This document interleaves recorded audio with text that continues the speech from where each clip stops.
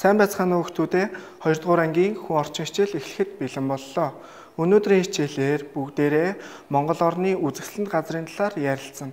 Бүгдээрээ хичээлийнхээ эхэнд сурах бичиг, үзэг, хүн орчны дэвтрээ болон гэрт чинь хэрвээ байгаа бол нэг бичгийн цаасыг бэлдэж хичээлдээ идэвхтэй анхааралтай оролцоорой. Монгол орны үзэсгэлэнт газар гэж яриул бид нар Монгол орны газар нутгийг бүгд нь авч ярих учраас Өнөөдөр бид нар Монгол орны газрын зургийн талаар эхлээд ярилцсан. Монгол орны газрын зураг сурах хүчгийн 69 дугаар хуудсанд байгаа. Бүгдээрээ сурах хүчгийн 69 дугаар хуудсанд байгаа Монгол орны газрын зургаа гаргаад өөрийнхөө аймгийг Монгол орны газрын зураг дээрээс олж тэмдэглээрэй.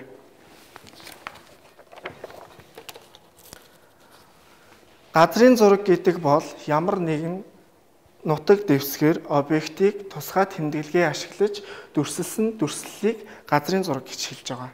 Тэгвэл энэхүү зурагт газрын зургийг өнгө болон дүрсээр дүрслэн харуулжээ. Танай аймаг хаана байгаа вэ гэсэн асуултанд хариулахын тулд биднэрт мэдээж Монгол орны газрын зураг дээрээс зүг чигийн тэмдэглэгийг ашиглаж хариулах шаардлага гарч ирж байгаа. Тэгвэл Монгол орны зүг чигийн тэмдэглэгийг ашиглаад бүгдээрээ өөрийнхөө аймгийг аль зүгт байгааг олох боломжтой. ертөнцийн зөв чигийн тэмдэглэгийг ажиглавал өмнө, хойно, баруун, зүүн, баруун хойно, зүүн хойно, баруун өмнө, зүүн өмнө гэсэн зураглал байж байна. Тэгвэл бүгдээрээ өөрийнхөө нутгийг Монгол орны аль зүгт байгаа вэ гэдгийг газрын зураг дээрээс олохын тулд ертөнцийн зөв чигийн тэмдэглэгийг ашиглах хэрэгтэй. Хэрв чи Хинти аймагт амьдардаг бол Монгол орны аль зүгт байгаа вэ? Хэрв Өмнө Говь аймагт амьдардаг бол Монгол орны аль зүгт байгаа вэ? Тэгвэл ертөнцийн зөв чигийн тэмдэглэгийг газрын зургийн гол хэсэгт авчирч тавиад харъя. Хинти аймаг бол Монгол орны зүүн хэсэгт байрлаж байна. Өмнө Говь аймаг Монгол орны өмнө хэсэгт байрлаж байна. Тэгвэл бүгдээрээ өөрийнхөө аймгийг газрын зураг дээрээс олж тэмдэглэсэн байх гэж багш нь найдаж байна. Хүүхдүүдээ дэлгэцэнд харагдаж буй дараах шүлгийг анхааралтай уншаад юуны талаар гарсныг эргцүүлж төсөөлж бодоорой. Миний нэр хаан суудалтай ааваас шивнэж хайрлсан нэр хатан заяатай ээжээс бүүвэлж аялсан нэр эмөө өвөө хоёрын ивэлж өхөөрсөн нэр инхри багын зангаар ээнэгшин дассан нэр энэ шүлэгт юуны талаар гарсан бэ? Энэ шүлэгт нэрний талаар гарчээ. Чиний нэрийг хэн өгсөн бэ? Бидний нэрийг өвөө эмээ, аав ээж, гэр бүлийнхэн өгдөг. Тэгвэл уул усны нэрийг хэн өгдөг вэ? Бүгдээрээ эргцүүлж бодоорой. Мөн танай нутагт томоохон уул ус байвал тэдгээрийн нэрийг дэвтэртээ бичээрэй. Нутгийнхаа томоохон уул усны нэрийг дэвтэртээ бичээрэй.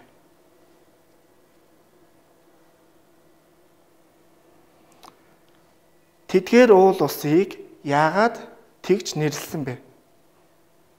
Яагаад тэгж нэрлсэн бэ? Сайн байцгаана уу хүүхдүүдээ намайг Бат гэдэг би Ховд аймагт амьдардаг гэжээ. Тэгвэл газрын зураг дээр Батын амьдарч байгаа Ховд аймаг газрын зурагт хаана байна вэ? Мөн Ховд аймгийг газрын зураг дээр ямар өнгөөр тэмдэглэсэн байна вэ? За харъя. Ховд аймаг Монгол орны баруун хэсэгт байна. Ховд аймгийг газрын зураг дээр шар өнгөөр тэмдэглэн дүрсэлжээ. За нутгийн томоохон уул усны нэрийг бичээрэй гэсэн асуултанд бат яаж хариулсан бэ? Дэлгэц рүү анхаарлаа хандуулаарай. Манай нутагт хар ус нуур, цамб гарав уул, гурван цэнхрийн агуу гих мэт олон сайхан газрууд бий гэж бат тэмдэглэжээ. Тэгвэл бат нутгийнхаа томоохон уул усны нэрийг та нарт нэрлэж үзүүллээ. Тэгвэл эдгээр уул ус нь зориулсан дуу шүлэг байдаг юм болов уу?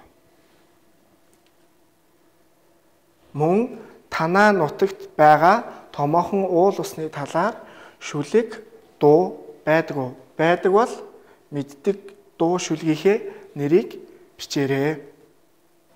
Ховд нутаг минь цам гарав танаа гих мэд олон дуу байдаг гэж бат хариулжээ. Тэгвэл батын хариулсан хариулттай адилхан хариултыг та нар өгч чадсан уу? Бүгдээрээ эргцүүлж бодъё.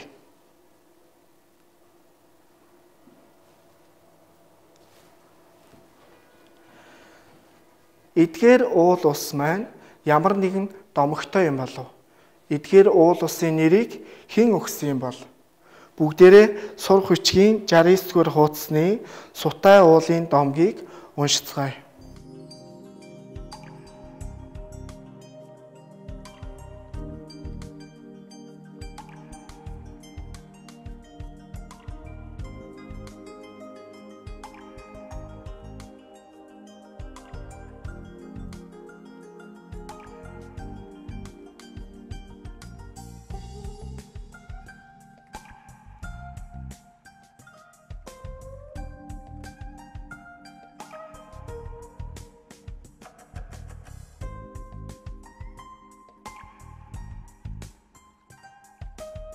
Сутай уулын номгийг анхааралтай уншсан байх гэж багш нь найдаж байна. Тэгвэл уул усны нэрийг хэн өгдөг байх нь? Аав ээж өгдөг юм уу? Өвөө эмээ мань өгдөг юм уу? Ямар нэгэн дарга өгдөг юм уу? Аль эсвэл бурхан өгдөг юм бол. Тэгвэл сутай уулын домгоос авч үзвэл олон 100 жил нутаглаж ирсэн ард түмэн өөр өөрөөр нэршилсэн байгааг бүгдээрээ харж болж байна. За дараах мэдээллийг харъя. Багш нь та нарт зориулж Монголын үзэсгэлэнт газар болон түүхэн дурсгалт газруудаас мэдээлэл бэлтгэж ирсэн байна. Эхний мэдээлэл бол хонгорын элс байна. Хонгорын элс нь Өмнө Говь аймгийн бүх нутгийн 3 орчим хувийг эзэлдэг эсэн нуруу, манхан, тармаг элс юм. Элсэн манхан нь Ёроолоосоо дээш оргил хүртлээ 10-аас 195 м хүртэл цавчим өндөр бөгөөд салхитай үед янз бүрийн хөгжим ихшиглэх мэт дуу аваа гардаг. Энэ нь салхинд элсний маш нарийн ширэхгүйд хийсч сарнин цахилгаан жаад түүний эерэг сөрөг цахилгаан цэник үрэлцснээс ийхүү чимээ гардаг байна. 2010 онд Монголын говь нэрээр аймгаа төлөөлөн Монгол улсын 9 гайхамшигар тодорчээ. За тэгвэл Монгол орны газрын зурагт маань хонгорын элсийг аль хавьд байрлуулах вэ? Хонгорын элс Өмнө Говь аймагт байдаг. Тэгвэл Монгол орны газрын зургаас Өмнө Говь аймгийг ямар өнгөөр тэмдэглэсэн бэ? Монгол орны өмнөд хэсэгт буюу Өмнө Говь аймгийг улбар шар өнгөөр тэмдэглэжээ. Өмнө Говь аймагт бидний сайн мэдээллийг авсан хонгор ээлс байрлаж байна. За дэлгэц рүүгээ анхаарлаа хандуулъя. Хөвсгөл нуур, Хөвсгөл далайн Монгол улсын хойд хэсэгт Хөвсгөл аймагт оршдог. Энэ нуур нь Монголын хамгийн их эзэлгүүнтэй хамгийн гүн нуур юм.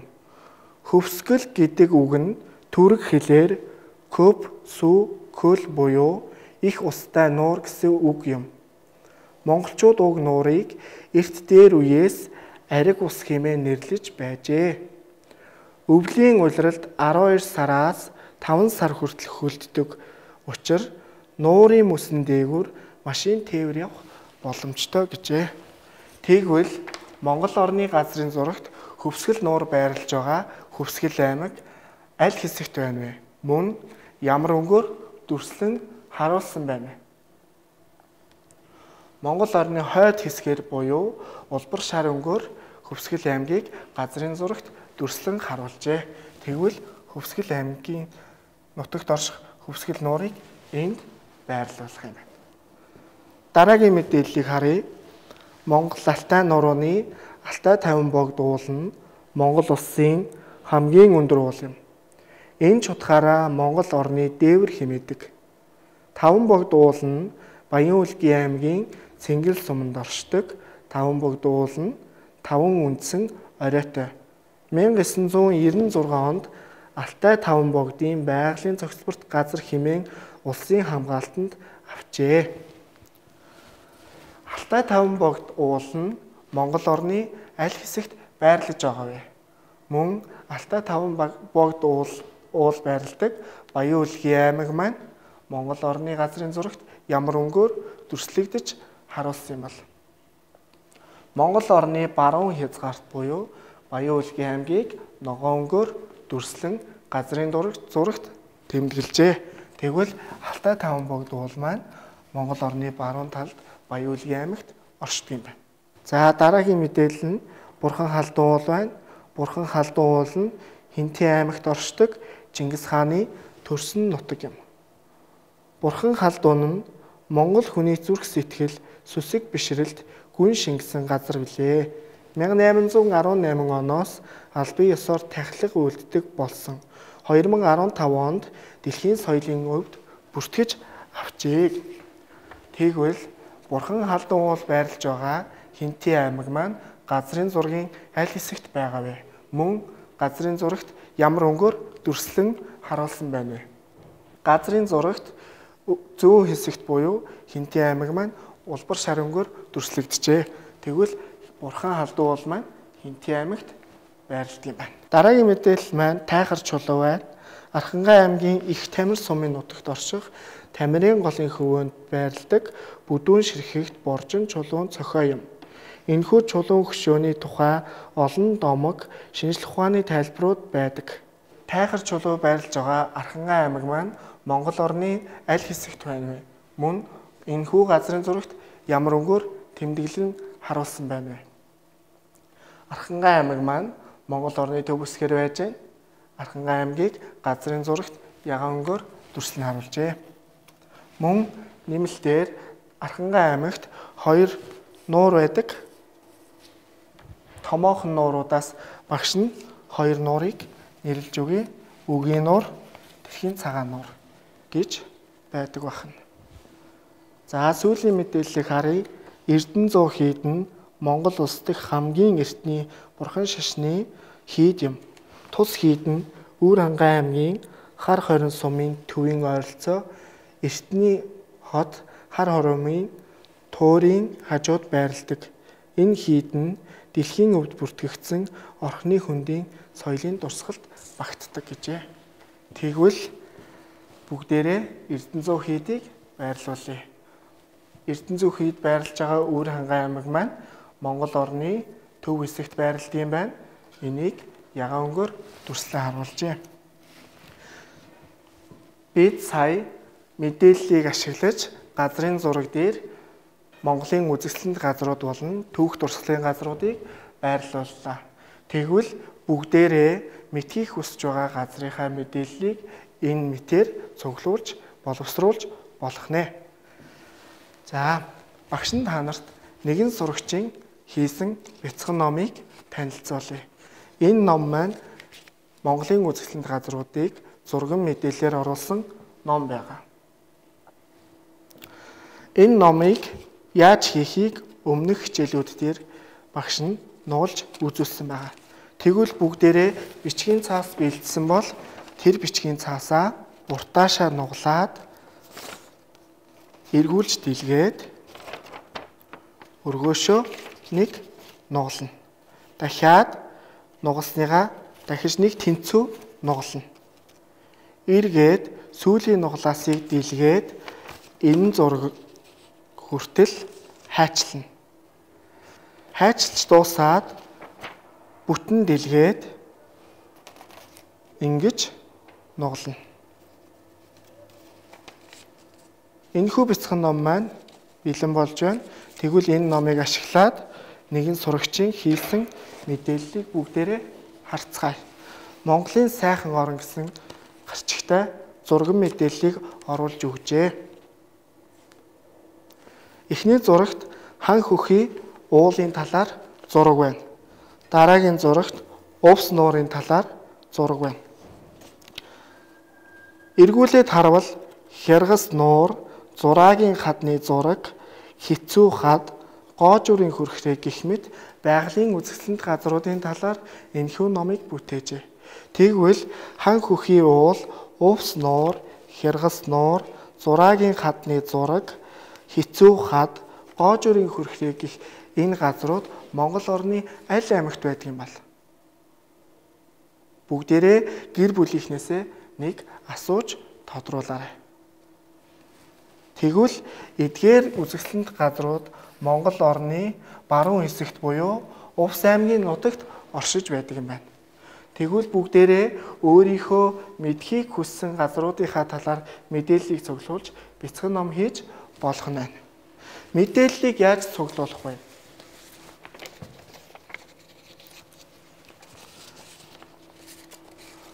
Мэдхийг хүссэн газрынхаа зургийг олно. Энэ зургийг бүгдээрээ сонин сэтгүүл, ном, юунаас ч олж болно. Дараа нь тэдгээр газруудынхаа талаар хин нэгнээс асууна. Гэр бүлийнхэн, найз нөхөдгээд хин хинээс ч асуусан болно гэсэн.